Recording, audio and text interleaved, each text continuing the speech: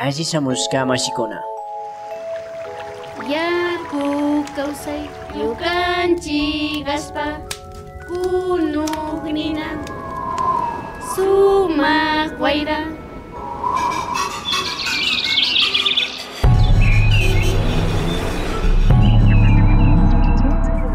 Minga por la Pachamama, una ventanita entre el campo y la ciudad.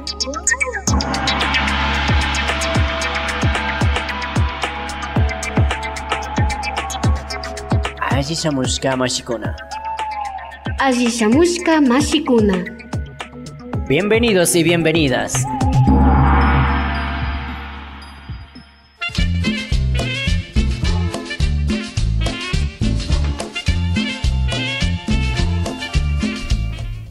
Iniciamos la minga por la Pachamama del día de hoy. Muy buenos días amigos, amigas. Qué gusto estar acompañándoles el día de hoy. Muy buenos días, Marce. Muy buenos días, Eli, vecinos, vecinas, caseritas, caseritos. Escuchas, estamos en su programa Minga por la Pachamama. Y pues igual, ¿no? Siempre eh, agradecidos por todas las compañeras y compañeros que nos reciben muy afectuosamente en sus espacios. Está, sigue pendiente varias visitas más eh, que nos estamos organizando. No siempre nos falta el tiempo, siempre estamos pendientes de cómo resolvemos la parte logística, pero estamos al pendiente de todas esas invitaciones que nos están haciendo, pues nos están haciendo llegar. Y seguramente para agosto estaremos ahí visitando eh, Cotacachi, ¿no? Ese espacio tan fuerte Ay, sí es por la Feria de las cierto. Semillas, así que estamos ahí atentos, atentas también en Cotacachi, que ya viene ese espacio, ese encuentro de las semillas, ese encuentro intercultural, ese encuentro en el que vamos eh, a ver no todo ese trabajo que hacen en estas en esta localidad, pero también que vamos llegando ahora cada vez más desde diferentes partes del país. Estamos llevando, aprendiendo, ¿no? Cómo se han ido organizando ya. Este, este encuentro, ¿no? De semillas, este encuentro, este contacto con eh, de dónde venimos, ¿no? De cómo guardar nuestros alimentos. Y un gusto pues acompañarles el día de hoy y saludar a las radios que tan gentilmente retransmiten la minga por la Pachamama.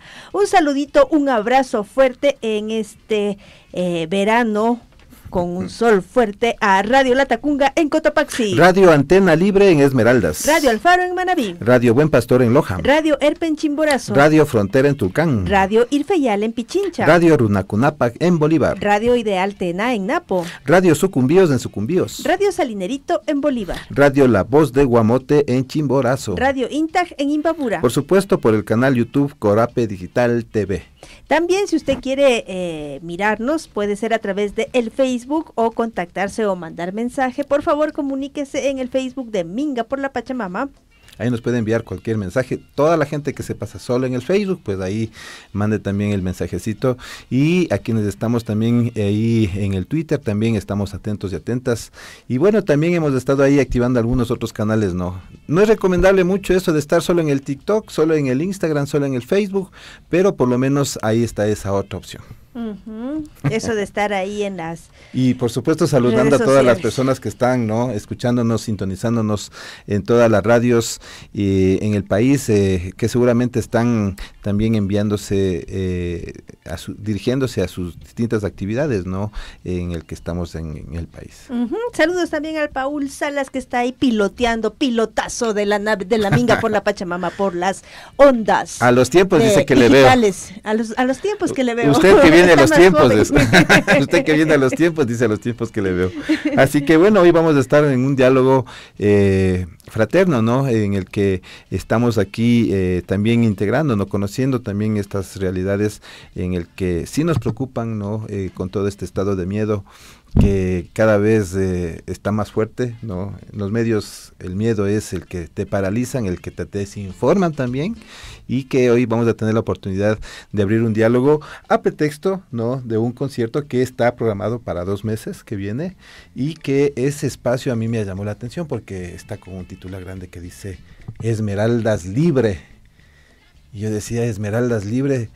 Y claro, entonces eh, eh, estos, estos espacios, ¿no? Yo digo pretextos porque eh, al final eh, te llevan, ¿no? Te inducen hacia conocer otras personas y hoy estamos muy encantados de conocerle a una compañera que me ha dado también a mí mucho refresco, ¿no? En estas épocas violentas, ¿no? Entonces, e- Esmeraldas libre de violencia, se puede hablar de Esmeraldas libre de, violencia Muy buenos días, muy buenas tardes. ¿Con quién tenemos el gusto? ¿De qué parte del mundo viene? Pues, Bienvenida. Buenos días, tardes, ¿qué será? No tardes ya. Pero mi mamá dice que mientras no se almuerce hay que decir buenos días. Ah, Entonces, buenos días. Entonces sería buenos días. Mi nombre es Giovanna Pozo Lugo, soy de Rocafuerte, en el norte de la provincia de Esmeraldas, y soy la coordinadora de la colectiva afroesmeraldeña Esmeraldas Libre. El colectivo Afro Esmeralda. Colectiva. Colectiva. Ah, De además. la colectiva. Así, ¿y por qué es femenino? Pues porque nos pensamos también las luchas desde las mujeres, ¿no? Los espacios siempre están masculinizados, entonces nuestra lucha está también abierta a este cambio, al diálogo y a la, a la postura política de las mujeres, ¿no? Apostando por las mujeres en la política. Por eso le dices la colectiva. La colectiva. Ah, mismo si hay chicos también. Hay chicos, pero es la, es la colectiva. Exacto. La colectiva de personas, ¿no? La colectiva de personas, exacto. Pensándonos Eh, también en este lenguaje que nos incluya que nos y nos represente a las mujeres. Eh, la colectiva Esmeraldas, Esmeraldas Libre. Libre. Eh, ¿Y cómo, cómo surgió? ¿Cómo apareció? ¿Por qué pensar en este la colectiva Esmeraldas Libre? Bueno, la colectiva aparece legal y formalmente, por así decirlo, desde enero. Hacemos un llamado a un plantón pacífico el 27 de enero en la ciudad de Quito, en la Plaza Grande, pero pues los señores municipales nos corrieron, pero nos permitieron utilizar un espacio de una plaza muy pequeñita que en este momento no recuerdo el nombre. Entonces, a raíz de esto, eh, pues vamos articulando ya más políticamente y como, como pensándonos en qué hacer. ¿Por qué nace la colectiva? Por la situación eh, en la que vivimos a diario las corporalidades negras, ¿no? El país y la sociedad es ultramente racista y em, hay un, un detonamiento, por así decirlo, que es la declaratoria de, de estado de guerra, que vuelve a, a poner como en, el, en la mira a las corporalidades negras. El racismo está presente y siempre ha estado, ¿no? Eh, con mayor o menor medida, pero siempre hemos sido parte de esto, siempre hemos estado sufriendo esto. Entonces, nuestra idea es crear un espacio, perdón, que, con, que cuente contranarrativas, ¿no? Que cuente nuestra realidad y nuestras verdades, más allá de lo que los medios de comunicación siempre suelen compartir, en los que siempre nos dejan, pues, mal parqueados, por así decirlo. Em, Este tema así como del racismo, ¿no ve? Eh, ¿Cómo le entiendes tú o cómo vives de ese racismo Pa- para, para poder entender, para poder como ver en qué momento podemos como vibrar juntas, o sea, en entender, ¿no? Este tema del racismo. Claro, em, está totalmente instaurado el racismo en la sociedad y en la mente de la gente. Entonces, eh, el negro y el afro siempre va a ser visto como eh, una persona de so- un cuerpo de sospecha. Entonces, te cuento un caso así de los miles, ¿no? Estábamos por la 12 de octubre con una amiga caminando. Justo en la 12 de octubre em, hay un, un edificio donde hay un banco Pichincha, no sé la, la intersección cuál es, Ya. en la 12 de octubre. Entonces yo iba al cajero, ¿no? Del banco, del- de este banco. Entonces iba subiendo, sale el guardia corriendo del edificio y tira la puerta y me pone un tolete así. Como, No. Claro, y yo así. mm. Y mi amiga se queda helada, paralizada, viendo la situación. Y, yo- y me dice, amiga, ¿pero qué vamos a hacer? Y le digo, esto es a diario. Y esto fue un nada, por así decirlo, Ajá. ¿no? Entonces, siempre somos sujetos de sospecha. Hace un par de semanas a un compa de la colectiva eh, estaba tomando un, un integrado de la Río Coca hacia mi casa en Carapungo y pues em, unas señoritas lo denuncian por sospecha porque estaba con una gorra y una mascarilla. El chico estaba enfermo. Mm. En, En este. momento en donde cuando uno está enfermo... No Imagínate. se puede poner mascarilla. Imagínate, estaba con una Sí. mascarilla y tal. Lo bajan los policías del integrado. Le bajan. Le bajan del integrado y lo empiezan. Del, articula- del Del integrado articulado. que es del servicio, que- creo que es un servicio mixto con el municipio, ¿no? Ujú. Bueno. Me parecería que... Le bajan algo así. de- Le bajan del bus. Él ya estaba en el bus. Imagínese vecino, vecina usted que se suba Claro, al bus, va a hacer sus bus, actividades, bien responsable, se pone su mascarilla y todo, y que a usted, vecino o vecina, le bajen del bus en ese momento. Claro. Imagínese qué es lo que usted pa- qué es lo que usted haría, vecino o vecina. Claro. Exacto, le bajan del bus y lo empiezan a, a, a cachar como que lo, le, Como le- sospechoso. ¿no? Exacto, como ¿y tú para dónde vas? Y él como estoy dirigiéndome a la casa de una compañera. No, ¿y por qué estás? Porque estoy tomando el bus. ¿En qué más me voy? No, pero hay una denuncia y que no sé qué. Y le empezaron a rebuscar y tales. Y algo que a mí me preocupó es que yo siempre le digo esto, la policía tiene una, una, una, una postura muy incorrecta hacia las corporalidades afro y algo que yo siempre le digo a la gente y aprovecho este espacio como para repetirlo, es que eh, se ha visto muchísimos casos, lo sabemos, lo sabemos de cerca, que cuando ellos te cachean te ponen cosas. ¿no? Además, Además, hacen esas prácticas. Exacto, se sabe, se están conocen esas estas prácticas. Las conocemos, las sabemos y las sabe la sociedad.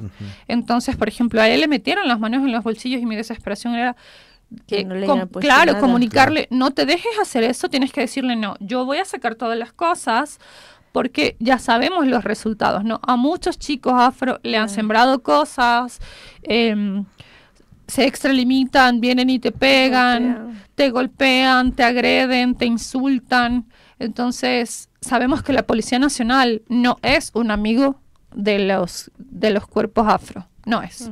Bueno, en realidad ha ido perdiendo, ¿no? Esa amistad, no solamente con el pueblo afro, porque eh, por Claro. muchos años, por su historia misma, ¿no? Pero también eh, acá, ¿no? Como cada vez eh, más se cuestiona, ¿no? Y cuestionamos Sí. además, ¿no? ¿Qué estará, cómo les estarán formando a esas personas que Claro. también se convierten, que son delincuentes, ¿no? Sí. Se, se ve ahí que son delincuentes, que son femicidas, Exacto. y que se supone que son eh, espacios, entidades de eh, protección en el que personalmente no siento yo esa esa esa, esa función, no Exacto. más bien sí es como ese Sí, producen ese miedo y dicen a ver Miedo, exacto. Sí. Por ejemplo, cuando hubo la declaratoria del estado de, de guerra, si ya los policías de por sí siempre nos miran con sospecha, ahora éramos...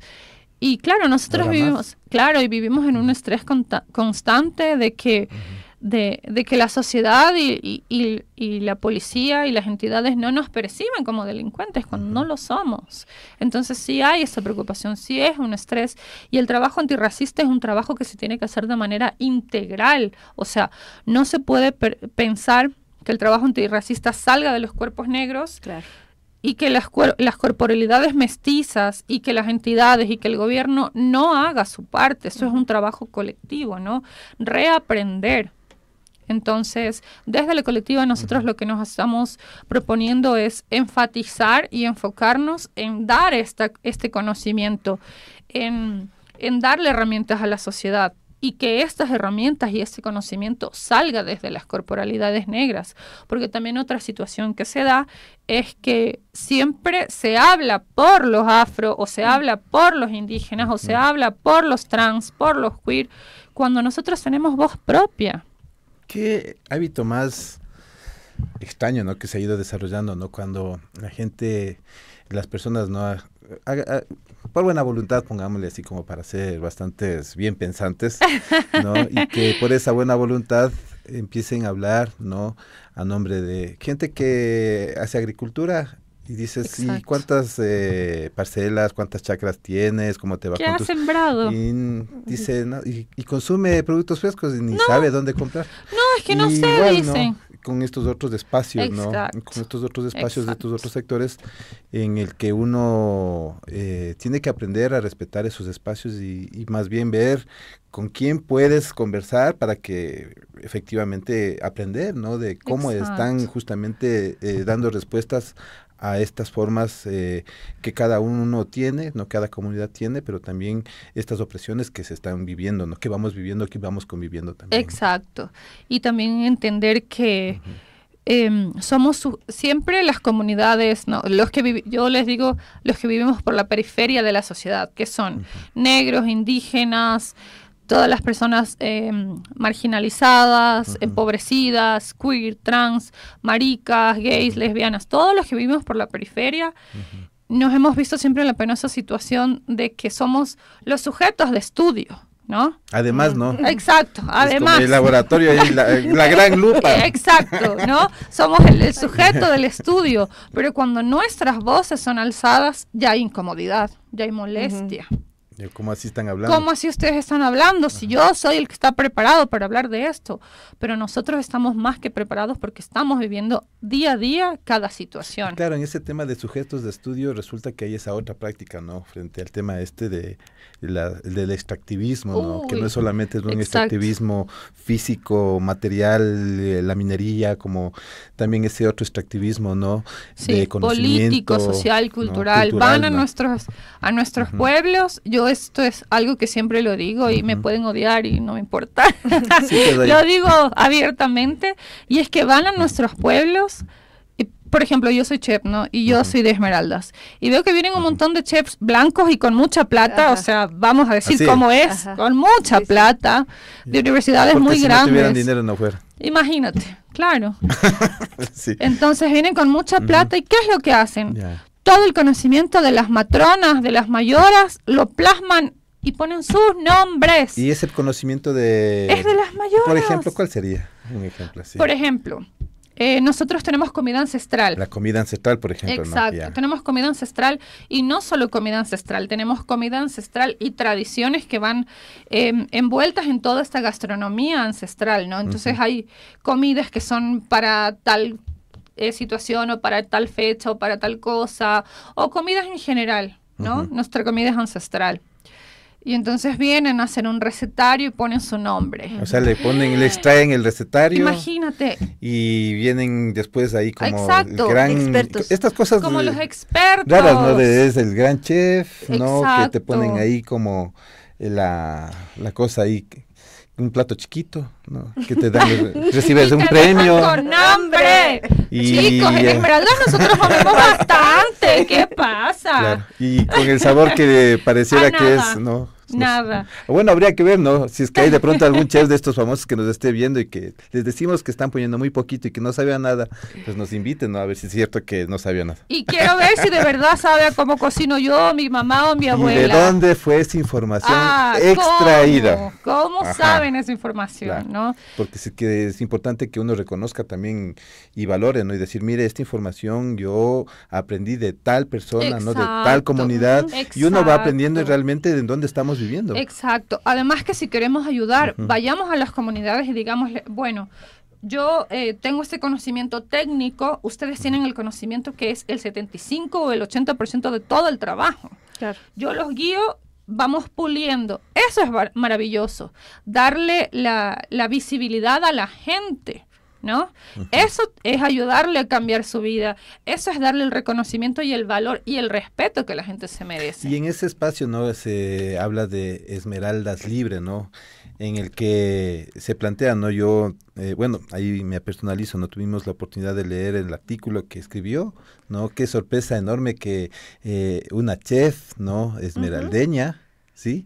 Eh, tenga la, esta, ese aporte, ¿no? En el que eh, ve además un, un aporte súper importante, ¿no? En el que se mira la violencia, ¿no? Desde una forma mm, humana y que nos dice Esmeralda es libre, libre de violencia, libre de toda esa opresión, ¿no? Que han vivido permanentemente, Sí. no es que antes no ha habido y No, ahora sí, sino es perenne. permanente. Perenne. ¿Cómo es que llegó pues esa necesidad ya de plasmarla en el papel, ¿no? Decir, bueno, ahora sí ya es el momento porque la- una parte súper importante que decía, ¿no? Es, no hay que silenciarnos. Sí. eh, uy, que eh, eh, aquí me agarraron de, de subida. Sí, este es un artículo que escribí para la revista Amazonas. Eh, son, es una revista que está en varios países, son varias colaboradoras a las que les mando muchísimo cariño y muchísimo apoyo y respeto. Eh, este artículo se me pide se me pide escribir un artículo por un suceso familiar específico del cual a mí no me gusta. Sí, mucho hablar, pero eh, me llené de miedo. Me llené de miedo. Cuando pasó esto, no pudimos ir a Esmeraldas. Bueno, sí, la situación fue muy, muy, muy triste. Pero cuando empecé a hacer como un proceso de sanación, también se fue el miedo. Yo dije, bueno, Ah. se fue con mi hermano el miedo. Y me pareció pertinente y, y eso fue un trabajo como introspectivo y dije, bueno, hay dos cosas que yo puedo hacer. La una, quedarme callada y que la gente y nadie sepa y, y- y bueno. Y la segunda es hablar, contar y nunca más quedarme callada. Y luchar para que a otras familias no le pase lo que a nosotros nos pasó. Luchar por tener una vida digna, una vida mejor. Luchar porque la historia de Esmeraldas se cuente y se cuente desde la realidad. ¿No? Esmeraldas es una provincia abandonada históricamente por los gobiernos. ¿no? Abandonada históricamente a tal punto de que en el 2024 seguimos peleando por el agua potable. A veces no tenemos agua dos o tres meses. Ay, no. ¿no? Entonces, eh, no hay acceso a la educación, no hay acceso a la salud, no hay acceso a empleo. Y entonces nos pensamos, ¿qué hace la gente si no hay un, un- una fuente de, de ingreso? Eh, la situación que vive Esmeraldas es el resultado absoluto del abandono estatal. Y el gobierno y todos los gobiernos se han olvidado de Esmeraldas. Es la última rueda del coche. Ahora yo les digo, ¿qué pasa si la refinería de Esmeraldas se para? ¿Dónde está el ingreso de, del Ecuador? Gracias a la refinería que está en Esmeraldas. ¿Y qué está sucediendo además con quienes viven alrededor Y- de la refinería? exacto. ¿no? ve? ¿Qué, es lo que- beneficios han exacto. tenido? No tienen ningún beneficio. Es una gran mentira que te digan que, que la refinería da beneficios, mentira. Lo que hace es poner unas tres calles en, en concreto y eh, hasta ahí. Y ahí- Los barrios sí. cercanos a la refinería tienen un índice altísimo, una tasa súper alta de una mutación genética que les genera cáncer y otras enfermedades. Muchos de los trabajadores de la refinería tienen cáncer y esto es una realidad vívida. Todos los días lo vivimos, todos los días lo sabemos. Y aunque sea esta em, la fuente mayoritaria de contaminación, ¿qué le toca a la gente? Trabajar en la refinería porque es la única fuente de trabajo estable. Entonces, estamos condenados a, a una muerte penosa, dolorosa, y sin que el Estado nos dé, nos dé soluciones, nos dé ideas. Mientras tanto se extrae, ¿no? Justamente hablando de la extracción, ¿no ves? Se extrae, se extrae, se Exacto. extrae. Todos los días la refinería 24/7 contaminando. Contaminando. Los gases tóxicos son una cuestión impresionante. Sin, y eso sin mencionar el incendio de la refinería. Cuando pasó. ¿no? Hace algunos años. Exacto. Y ahí es, ¿qué pasó con ese espacio, ¿no? En el que la coyuntura informativa fue que el dolor, ¿no? A veces incluso hasta demasiada, eh, se expone ese dolor, pero luego Exacto. pasaron dos, tres días Y chao. y ahora ya pasaron algunos años. ¿Qué ha te sucedido, acuerdas, no? Exacto, y te cuento. Esto lo sé porque de cerca tengo una amiga, un caso. Eh, muchas de las personas que se vieron afectadas por quemaduras sumamente graves, eh, las que sobrevivieron, ¿no? Las que sobrevivieron, el gobierno les garantiza, entre comillas, que les va a dar un mensual porque son personas con discapacidad creada por el Estado. Ese dinero no llega. Ese dinero no está, no les llega a las personas afectadas. Ellos necesitan un trato especial para su piel, necesitan cremas, protectores solares especiales y otros cuidados. Todo eso sale desde la pobreza de la que ellos viven, desde esa misma pobreza, tratar de, de buscar esto, estos recursos que se necesitan para sostener su piel que ha sido afectada. Imagínense, es un problema además, ¿no? Sin agua Exacto. potable. Sin agua potable. La contaminación de todos estos quemadores, todas estas pues, afectaciones ambientales, sumando, ¿no? A los problemas Sumando. que se ha ido tomando, porque también Por se habla, ¿no? De estos nuevos terratenientes que además han ido tomándose esmeraldas, bueno, y el país, ¿no? Exacto, entonces tenemos Palma. Tú sabes que La Palma es uno de los mayores deforestadores que existe. Es sumamente complejo todo lo que genera. Primero que es un monocultivo. Segundo, eh, no puedes... Es monocultivo ¿por qué? porque por la altura y las hojas tapa toda la, la luz y no se puede sembrar nada más. Necesita estar la palma sola, le dan un par de años y eh, el, el- el piso queda totalmente erosionado y queda pues sin, sin vida fértil, ¿no? Ahora, ¿qué es lo que sucede? Se mueven a otro espacio, sacan a la gente de las comunidades, se alían con las autoridades y sacan a la gente que siempre ha sido dueña de las tierras, la sacan de sus tierras. ¿Para qué? Para poner palma. Después dejan campos desolados y se van moviendo. Lo mismo pasa con las camaroneras que la ponen a pie, a los pies de los mangles, de los manglares. Nos destruyen la vida. El manglar es que es la, el ecosistema que sostiene la vida marítima. Ellos van y ponen ahí sus camaroneras. Chao mangle, no les interesa nada. Se llenan de dinero, entonces hay, entonces también es preocupante y hay que hablar del capitalismo y el capitalismo ecológico y su destrucción. Porque claro, cuando empiezan a hablar ¿no? de que hay que ver las inversiones, eh, nos van a quitar a nosotros pobrecitos empresarios, nuestras posibilidades de poner empresas que están en, en una forma de extracción que Sí. le cuesta más al país y hay mucha gente que está en esos territorios Exacto. que les cuesta, ¿no? O sea, la Sí. salud, eh, la economía Les y lo sus que después... vidas si no quieren y- salir. ¿Y quién regenera entonces luego los manglares?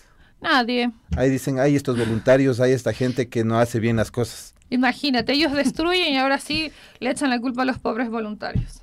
Sí, ¿no? Y a la que gente de las comunidades. Exacto. Y ahora sí, y la gente de las comunidades es la gente que sostiene y defiende los bosques, los bosques, el mangle. Esta es la gente que nos da la vida. La gente de a pie, la gente de las comunidades es la gente que sostiene la vida. Y esta es la gente más abandonada. Esta es la gente a la que nunca se le regresa a ver. Y de la que otra vez hay extractivismo. O sea, es una, un círculo extractivista eterno. O sea que además del extractivismo, esta violencia económica, ¿no? Además, súmele a la violencia racista que también se vive, Claro. ¿no? Que nos está contando el desde el inicio racismo decir. ambiental. Y eh, eh, Le súmele, ¿no? En estas este tema de eh, territorios de sacrificio, así le llaman. Exacto.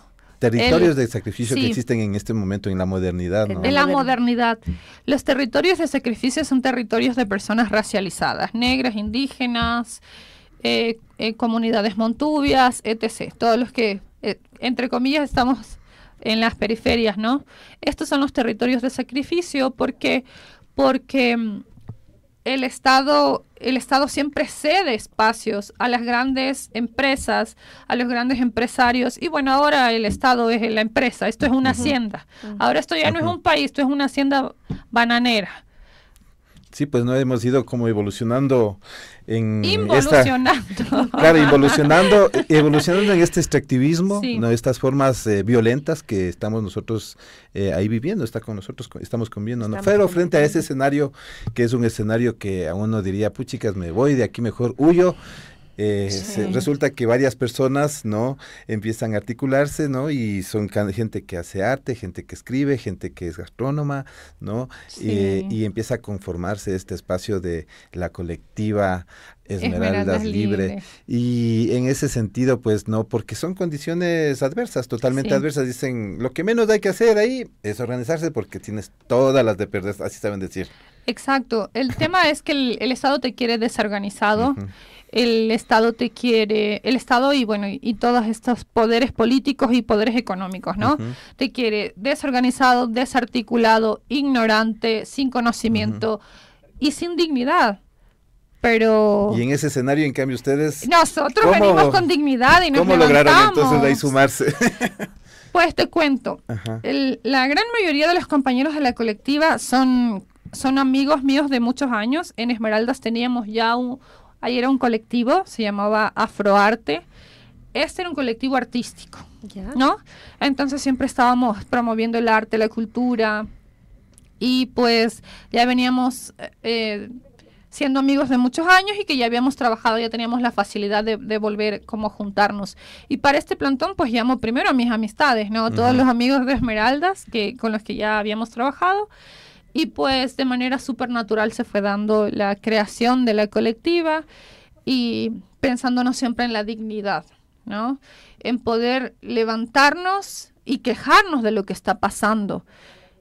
Y pues así nace la colectiva. Y con mira siempre a mejoras, con mira siempre a, mm, a tratar de, de- de que la etnoeducación, no a tratar, que la etnoeducación nos sirva de respaldo, que la etnoeducación sea el camino y que la etnoeducación nos genere pues em, bienestar de alguna manera en las vidas de, de los cuerpos negros. Yo creo que yo creo que por ahí varios, varios compas mestizos de aquí de Quito me han, me han dicho, Geo, nosotros no sabíamos todo esto, mira qué loco. Y, y ya solo el que la gente sepa ya es un avance, ¿no? ¿Por qué? Porque sabemos cosas que, que no se tienen que hacer, sabemos cómo tenemos que aliarnos con, con las personas de las periferias, con los afro, con los indígenas, con los maricas, con los queer, etc. Sí, Entonces, ¿no? y justamente lo que se habla, nos dice juntarse para tener acciones antirracistas que buscan crear y difundir contranarrativas que transformen los discursos hegemónicos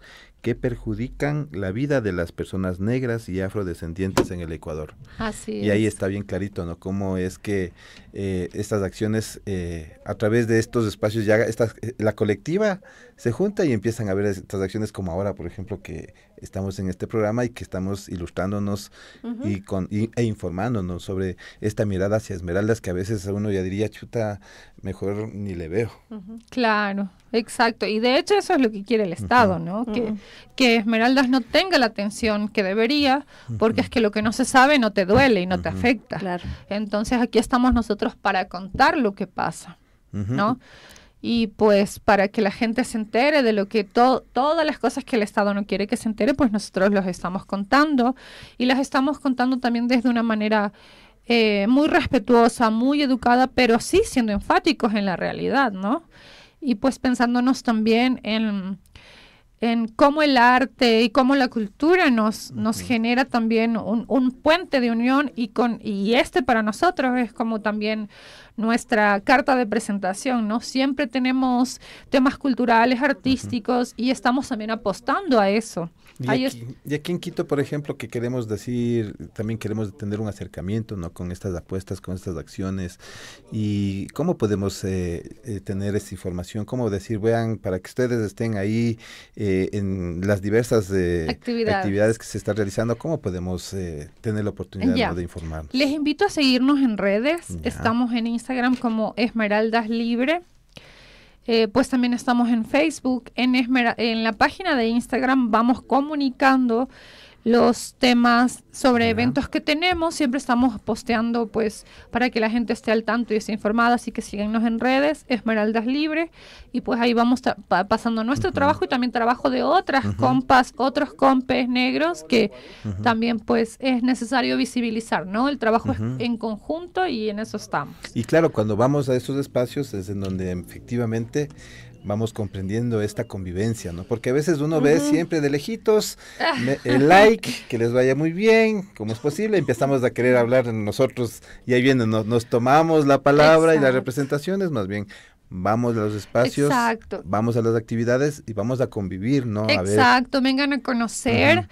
Eh, nosotros hacemos siempre eventos, por ejemplo, para carnaval, hicimos el carnaval esmeraldeño y ahí hice, hice un tapabarrecho riquísimo. Ah, Y mucha gente de la que vive acá no ha probado, pues, y la gente encantada. Entonces, también es una invitación para nuestros eventos, para que conozca sobre el arte, sobre la gastronomía, sobre las tradiciones, sobre los dichos, incluso escucharnos hablar. Yo soy de un pueblo muy pequeñito que está al norte de Esmeraldas, entonces yo tengo unos dichos bien de mi mamá, de mi abuela, de mi bisabuela, ¿Cómo era el pueblito? Roca Fuerte. Roca Fuerte, ¿no? Sí. Saludos a toda la gente que nos esté, ojalá escuchando. Ay, sí. Y ahí enviamos también saludos fraternos a toda Esmeraldas también, ¿no?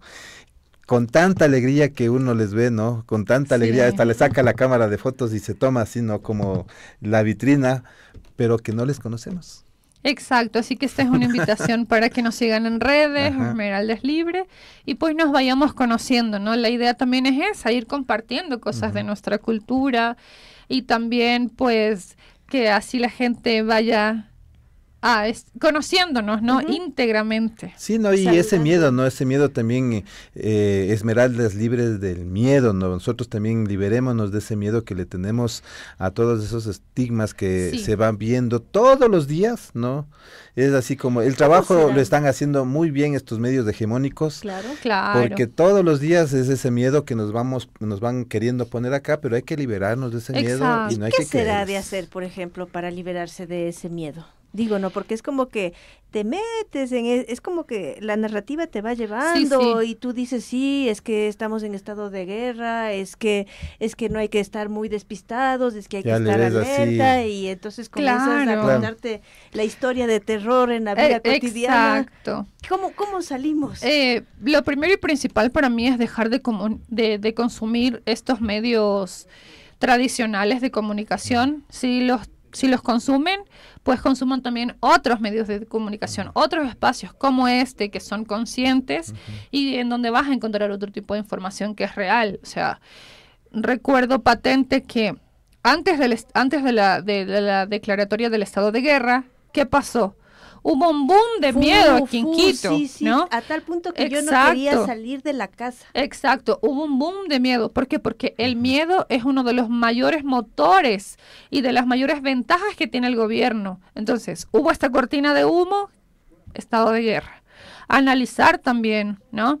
Las estrategias del gobierno, las estrategias de la derecha, cómo funcionan y un poco más de crítica y un poco más de consumo de, de realidad, sí, de sí. otras realidades, del de a pie, de, de la gente que está en la calle vendiendo, de todos nosotros que nos levantamos temprano a trabajar y que entonces este es eh, un- una forma también, ¿no? De, de, de empaparte de la realidad y de saber que lo, la- las élites no son nuestros amigos, nunca lo van a hacer y las élites solo nos movilizan y nos utilizan a su conveniencia. Entonces, el miedo es una de las mayores cartas que ellos tienen a su favor. Entonces, más o menos sospechar, ¿no? O sea, cuando ya te da miedo, en realidad hay que estar alerta, sí. Alerta, pero sí. sospechar. O Exacto. sea, mirar más allá, no dejarte que solo sea el miedo el que te lleve. Y ese miedo a quién además, ¿no? Ajá, Porque ese claro. miedo también va dirigido, ¿no? Y ese es un miedo que es ruin, ¿no? Sí. Justamente a personas negras, ¿no? Además, ¿no? A personas que están tatuadas, Sí. ¿no? Y que sí, efectivamente, nosotros hemos escuchado ya varios casos de personas muy cercanas, ¿no? Cómo les han bajado del metro, por ejemplo, porque Claro. les ven tatuados, tatuadas, Claro. y dicen, Porque a son ver, unos chicos altos, guapos, Imagínate. fuertes. Claro, ¿no? Y entonces dices, Sí. a ver, ahí, ahí, eso no es normal, eso no hay que normalizar y sí hay Exacto. que, y eso sí hay que denunciar, hay que decirle al municipio, decirles, mire lo que está pasando, están bajando gente de los buses, Sí. ¿no? Que están yendo hacia sus trabajos y van a decir, nosotros no hacemos nada. Yo, ¿Por qué le están bajando? Porque es una persona negra. Exacto lo que pas- ¿no? le Y pasó eso a mi hay que compañero decir, Liam. "Oiga, vecino, vecina, usted que estamos viviendo en nuestros barrios, ¿no? En nuestros barrios en la Floresta, en la Mariscal, en el Comité del Pueblo, en la lucha de los pobres, en Quito, en todas las partes del país. ¿Cómo le ve a usted a las personas negras? ¿no? ¿De qué forma les está viendo? ¿Cómo hay que verles? Hay que vernos como yo te veo a ti, Ajá, o te veo a ti, claro. como ¿Cuál es otro esa cosa? compañero. Claro. El, el tema es que está tan instaurado el tema del racismo en la mentalidad de la gente y esto no es solo algo que se ha, insta- ha- se ha instaurado, es algo que se sostiene. El día de la declaratoria de la guerra, quienes salieron en, en- en los canales de, de televisión fueron peladitos, encima unos peladitos, unos peladitos todos negros. Claro, esa- esa ¿a quién obra mal hecha, además. Exacto. No, no, de hecho bien hecha. O sea, ellos está muy son bien estereotipado. Exacto, Ah. ellos de hecho lo hacen tan bien que funciona, ¿no? Entonces van cambiando tanto y tanto. Me acuerdo que hace hace un tiempo era los venezolanos, los colombianos, los haitianos. Entonces es como buscar siempre un, un nuevo un nuevo Un nuevo enemigo. ¿no? enemigo. Un nuevo enemigo. Exacto. Y a, a pesar de buscar siempre un nuevo enemigo, el, el, el negro siempre lo Siempre pintan como el enemigo, ¿no? Claro. Y no, y el negro es tu hermano, el negro vive en- al lado tuyo, trabaja igual es- que tú. Ese tema de la convivencia, ¿no? Cómo es que nos separan en la convivencia y en esa convivencia nos ponemos ahí como límites violentos. Sí, Y esa violentos. violencia somos nosotros también cómplices Sí. cuando empezamos también Ah, sumándonos, ¿no? sumándonos en la forma de hablar, en la forma de, de ver, en la forma de no reconocernos, ¿no? Por, ¿Cómo nos vemos? Pues nos vemos como compañeros y compañeras, ¿no? Como vecinos y vecinas. No hay diferencias. Y, y tratarnos con respeto, Claro. saber que cada uno viene con un origen cultural distinto. Entonces nosotros tenemos una forma de hablar, una forma de, de, de comer, Ah, pero la comida sí les gusta, ¿no? sí. Y les encanta ir a Tacames. Y cuando Ah, vamos y, póngale la, y cuando quieren hablar ahí de la, del baile también, ahí sí están números unos ahí con la cámara. Exacto. Ay, no te digo. Ahí se hacen los turistas ahí. Claro, ahí sí. Ah, y el fútbol. Y el Y el fútbol, también. Si es que ganan, porque si no es negro También. tal y y, la tal. forma como, cómo se Sí. trata a las personas, ¿no? Es para mí el, sí hay que también a la gente que les gusta el fútbol y empiezan a hablar de una forma tan violenta. Exacto. Eso hay que, hay que, eso sí hay que cambiar, no es, eso no es, Exacto. no es normal es eso. Lo No, no es normal. es el miedo, ¿no? Lo otro es violencia, ¿no? Cuando Sí. ves que algo está pasando que no está siendo respetuoso de un trato ameno, digno, es como que también Denunciar, claro, y denunciar como esto no está bien, esto no podrías hacer, no puedes tratar a esta persona así y grabar. y no quedarse callados. Exacto, no quedarnos callados y sabemos que la policía es sumamente agresiva, así que podemos grabar.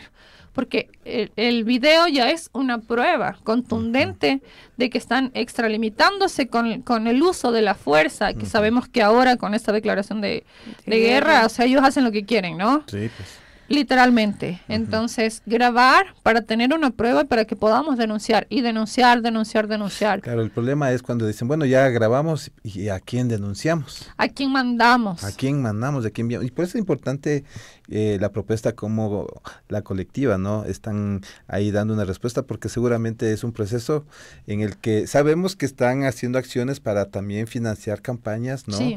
Frente a estos temas. Y Sí. nos parece algo tan simpático porque es una, son campañas de, eh, de financiamiento no para una persona, no para una familia, no, No. porque Y hay muchas hay órganos muchas campañas, ¿no? Los solidarios y etcétera, sí, sí. y siempre terminan en una persona, no en una familia y, es, y es- está bien, es bien importante.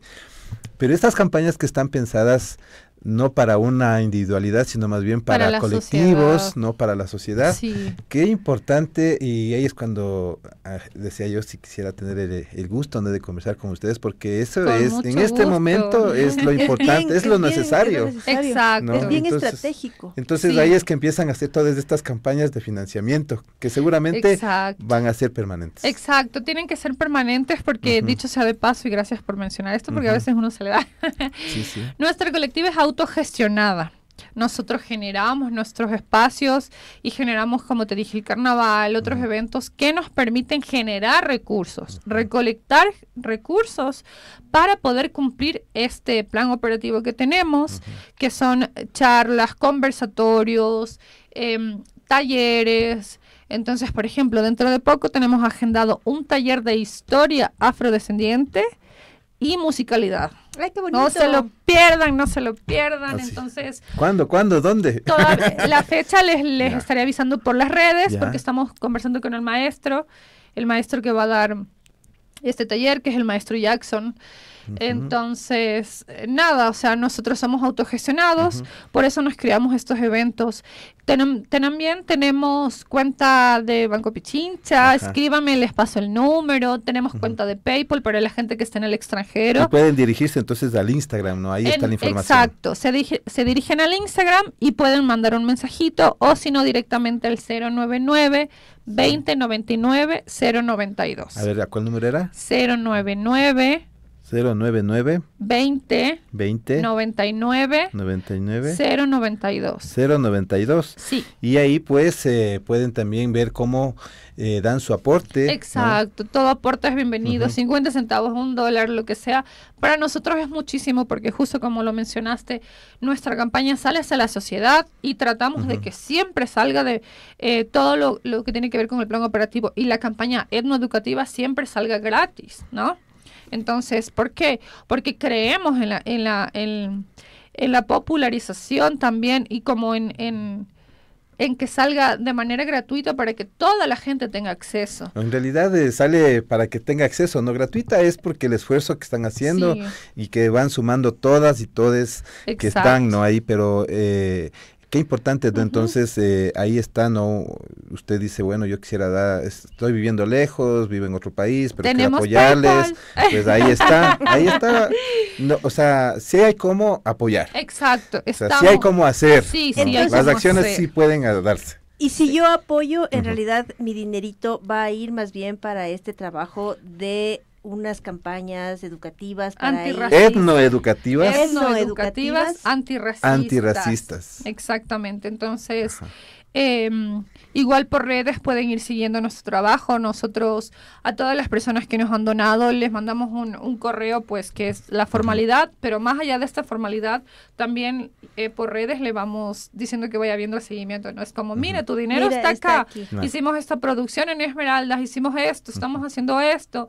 Entonces la gente sabe que pues su dinero está ayudando a la sociedad. Está funcionando. Está funcionando. sí. En realidad se está contando esta otra historia de que Sí. no de la violencia, no del racismo así feo, No ese raro, que te no venden, ese, ese que te ponen, ese, que te que causa te miedo y te bloquea. quedarte en la casa, quietita, mejor más encerradita, para que no te pase nada, sino más bien que se está contando esta otra forma de que sí es posible, mismo en este espacio tan violento de ahora, ir construyendo esta otra Sí. nueva forma de entender el mundo. Otras narrativas, un tejido social, colectivo y político, desde la, la gente de a pie. Esto es súper, súper importante para mí al menos. Tal vez habrá otros compas que pues lo hagan desde, cada uno lo hace desde sus trincheras y desde donde podemos, pero la idea es que pues todos nos sumemos y las campañas antirracistas nos y, y el racismo y el antirracismo no es un tema nada más de los negros, es un tema que le compete a todo el mundo. Y tenemos que trabajarlo para mejorar la sociedad, para que sea más igualitaria. Bueno, equitativa, porque el término igualitario no Tampoco. me sabe gustar. Equitativo. equitativo ahí. Y en ese sentido no vamos a tener la oportunidad entonces de sumarnos a acciones diversas, ¿no? Acciones Importantísimo. para irnos, queremos sumarnos a acciones, es que no tengo dinero, es que no tengo la capacidad de hacerlo, es que siempre ponemos el pero, ¿no ve? Es que- es Entonces, que- es que. pero si quiere usted aprender, pues entonces asista a los talleres. Y eso ya es un también es una acción, ¿no? Que Eso cuando ya ustedes es ya participan en los talleres, dice, me voy a los talleres a ver qué mismo es de esto y ver si puedo o logro convivir, porque no es que ya estamos conviviendo, sí tenemos que dar un paso para aprender a convivir. Exacto. Y como tú lo has dicho, ya es un gran logro, al menos para nosotros, toda la gente que asiste a nuestros espacios, porque se sienten bienvenidos, siempre nos agradecen por el espacio de mucha alegría, es un espacio muy bonito, muy diverso, muy muy íntegro, entonces esto ya es un paso, porque es una semillita, esa persona es una semilla, va a otro espacio y dice, miren, está viendo esto, podemos acercarnos, existe esto, demos el respeto a las corporalidades negras, permitámosles que ellos hablen por sí mismos, que ellos cuenten sus historias, sus narrativas y pues que nos guíen a cómo, hacia dónde avanzamos, que nos guíen, porque el trabajo pues de nosotros puede ser de guía o de contar cómo son las cosas, pero el trabajo Es es, conjunto, ¿no? personal, claro, También.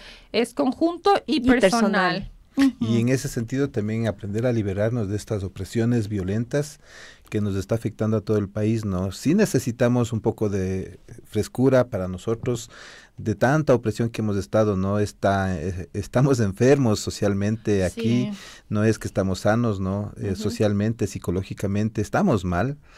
Y para poder nosotros eh, dar ese paso de, de ir como eh, cobijándonos con esta salud mental, pues es reconocernos, es eh, vernos Aprender que a vivir en esta y, comunidad. y ¿no aprender a cuidarnos, ¿no? Y Que eso es lo que estamos ahí todos los días nos toca incidir cada vez más, ¿no? Es, Y cómo nos cuidamos, porque también una forma de cuidarse puede ser efectivamente sacar todas las fuerzas policiales y militares para cuidarnos, pero cómo nos cuidamos entre vecinos, entre vecinas. que se cuiden también, claro, cómo se están conformando colegas. los mismos espacios de los militares, de los policías, tienen que también abrir las puertas para estas charlas, de estos talleres, porque ahí hay un problema grave, o sea, no pueden decirme que no, es tan gravísimo es el está problema de la violencia que están Hay- ahí, hay- al interno y de hay ellos, que eso este, liberar, ¿no? Claro.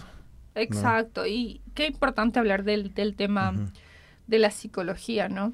Eh, como tú dijiste, esta sociedad está sumamente psicológicamente enferma. Hay resulta hay, mm, hay estudios que nos demuestran que en la actualidad la, la cantidad de, de enfermedades mentales y de y no solo de enfermedades, sino de condiciones mentales se ha alarmado, ¿no? Ha subido pero alarmantemente y pues qué importante trabajar también desde esto. Por eso en la colectiva tenemos muy claro el tema de la psicología tenemos agendado un taller psicológico para niños porque el crecer en la sociedad o en una sociedad racista te afecta psicológicamente sumamente profundo.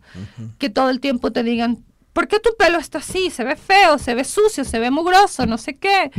Ah, sí, tú negra tal y hablas así. Entonces, imagínate vivir con eso, ¿no? Yo creo que al menos nosotros somos el resultado de una lucha profunda y de un trabajo profundo, primero de sostén, ¿no? De sostenernos nosotros y de y de poder autovalidar nuestra, nuestra belleza, nuestra fuerza, algo que siempre se nos ha dicho que no es así, ¿no?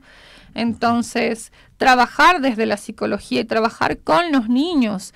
¿Por qué? Porque los niños vienen siendo un cuaderno en blanco, van escribiendo letras, a veces con sangre, a veces Imagínense escribir con sangre. Exacto, con lágrimas, con risas. con risas, y van escribiendo. ¿Y quiénes son las personas que, que, que aportan la mayor cantidad de la escritura de los niños? Son los padres. Y si los padres son racistas, seguimos perpetuando, ¿no? Entonces, sí hay que hacer un trabajo em, extenso, pero pues estamos trabajando en eso y estamos eh, apostando por la mejora, apostando por la mejora también de la sociedad, ¿no? una, una sociedad psicológicamente más sana, ¿no? Entonces, también. cuando se habla eh, de Esmeraldas libre, Esmeraldas libre del racismo, Esmeraldas libre de esta violencia económica, Esmeraldas libre. ¿no? Esmeraldas libre de la, de la explotación, Esmeraldas libre de, del racismo ecos, del ecosistema, del racismo estructural. Queremos una Esmeraldas libre del, del racismo social, queremos una Esmeraldas libre de violencia, queremos una Esmeraldas sana, queremos una esmer la Esmeraldas que nos pertenecía, ¿no? La Esmeraldas de, de la resiliencia las esmeraldas que las esmeraldas de la calle, nosotros nosotros por el calor y por todo sacamos nuestra sillita a la vereda, ¿sabes? Compartimos y convivimos con nuestros vecinos y son cosas de las que ya, ya no se puede hacer. están quitando. Nos han quitado nuestra forma de vida. Entonces, queremos una esmeraldas libre, una esmeraldas, una esmeraldas digna, una esmeraldas rebelde, una esmeraldas que se levanta, una esmeraldas que lucha, que sueña, una esmeraldas que apuesta, una esmeraldas que siempre le ha dado mucho a este país. Muy bien, pues ya para ir cerrando el diálogo, ¿no? Y seguro cuenten con este espacio para todas las actividades que están realizando, pues aquí siempre son bienvenidas, bienvenides.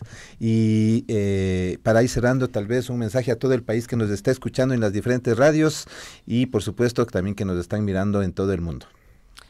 Pues es decirles que el racismo es un trabajo integral que nos toca a todos. Eh, el antirracismo, perdón. El racismo es una, un cáncer de la sociedad.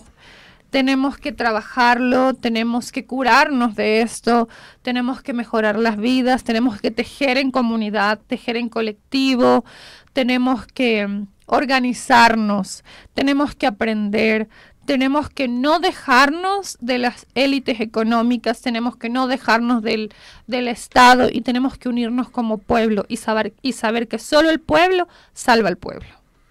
Muchas gracias, pues da, muchas gracias Deli, muchas gracias. Muchas gracias Paul. Estamos ahí la siguiente semana, estaremos en nuevo horario, hemos de estar informándoles, pues y recuerden que el poder del caserito, el poder de la caserita está en sus manos. Hasta, Hasta la, la, próxima. próxima. Ashisamushka mashikuna. Yaku kausay yukanchi gaspa kunugnina sumak wayra.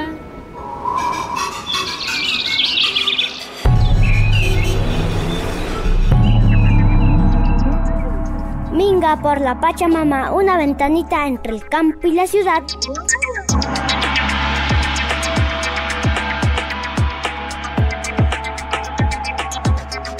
Ashisamushka mashikuna. Ashisamushka mashikuna. Bienvenidos y bienvenidas.